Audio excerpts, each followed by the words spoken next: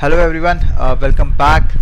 In the last video we saw uh, how we can use CloudFormation service uh, to templatize uh, resources that we need and how CloudFormation helps us uh, provisioning uh, this AWS resources for us.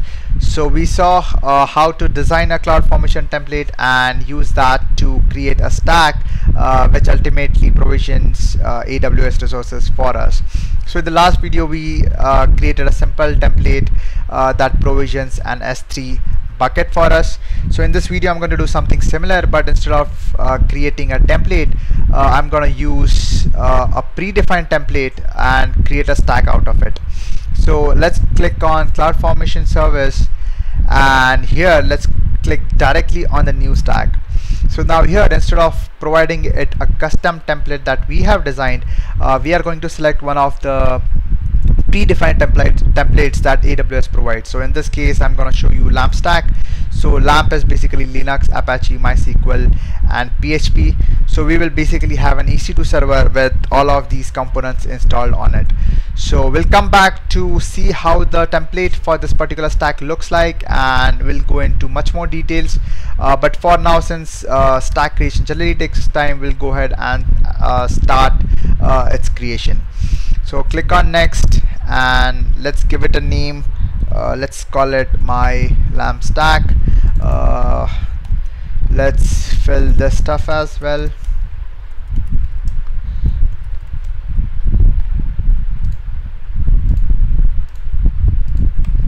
Alright so I have uh, filled with some values. Just notice that uh, I have put uh, DB user as a and database name as a as well.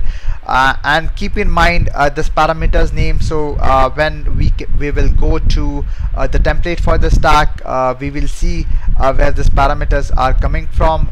We obviously need to specify what are the inputs that you need for stack and you you see it over here right? So just keep that in mind and let's go ahead and create the stack. Uh, you can keep all of this as default. Click on next. Uh, here you will see all the summary of what you have selected so far. And finally click on create. Right? So now you can click on stack and you can see the events that are in progress. So this may take some time. So let's go back to our stack. And uh, like I said before let's take a look at the template so AWS lets you edit uh, the existing templates as well. Uh, obviously those will be saved as a new template in your uh, in your cloud uh, formation uh, service in your account. So let's go ahead and see how uh, that looks like. So this is what your lamp stack template looks like. So you have AWS template format version. Now this is a static value and it basically denotes the version of this particular template. So unless and until a new version comes up you should put this same value. Uh, then you have description. So description basically says uh, what is your uh, cloud formation stack all about. So in this case it is a simple ec2 instance that is running uh, your lamp stack. Uh, then you have parameters so now if you remember uh, I had pointed out some of the parameters that the lamp stack uh, was taking uh, before we could go ahead and provision it. So these are the same parameters uh, so you can uh, provide the inputs that your stack needs uh, in the parameter section. So uh, if you remember that we had key name which is basically the SSH key name you have DB name uh, which we had provided as a Thakur similarly we had uh, DB user uh, which also we had provided as a Thakur so all of this provided in parameter is taken as input before the stack is created uh, next we have mappings. Uh, so in mapping section you can define the depend dependencies between uh, the AWS resources. Uh, and next you have the resources like we saw in the previous video as well resources define the actual AWS resources that you want CloudFormation to provision. So in the last video we had simply an S3 bucket details over here. Uh, in this case we have a web server instance details uh, which is nothing but an EC2 instance with much granular control. So we want a EC2 instance uh, to be configured and deployed and we want this set of packages to be installed. And then we want to configure something more uh, like for example uh, create a user in MySQL create a database uh, in the MySQL and stuff like that. So the rest of the stuff here is doing the same thing. So I'm not going to go into details of all of this. You can go ahead and read it up but the important thing is that uh, you can see that it is referencing db root password. Now this is something that you have provided in the parameters. So before you create the stack this is asked from the user and then it is referenced here. So uh, the the things that you specify in parameters are taken as input from the user before they can go ahead and create that stack and that is used to configure your template uh, and finally you have output where you can uh, mention if there are any attributes or details you want to see uh, when the stack is completely created.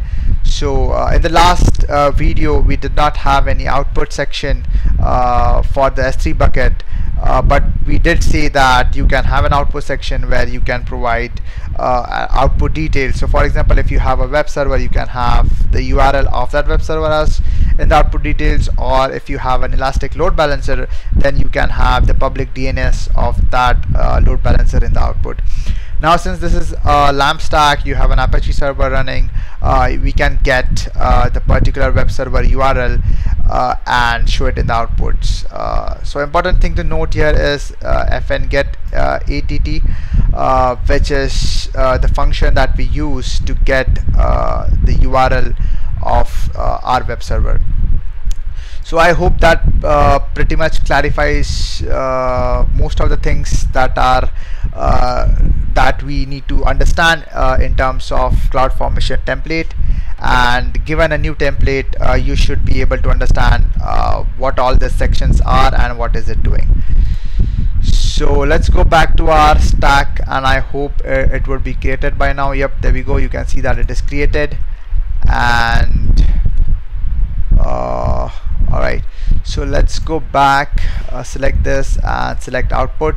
And you can see as we had provided website URL in the output of uh, the stack uh, you can see that it has provided this output. And if you click on this you can see that it it gives you the lamp stack installation details right? So uh, if you see that uh, the lamp stack is successfully configured for you.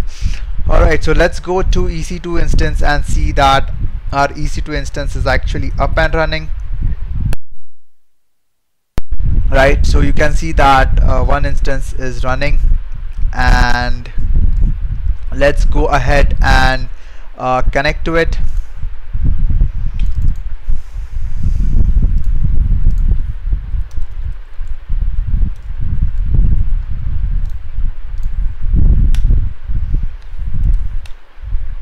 alright so we are connected to the uh, EC2 instance that was created as a part of uh, LAMP stack creation.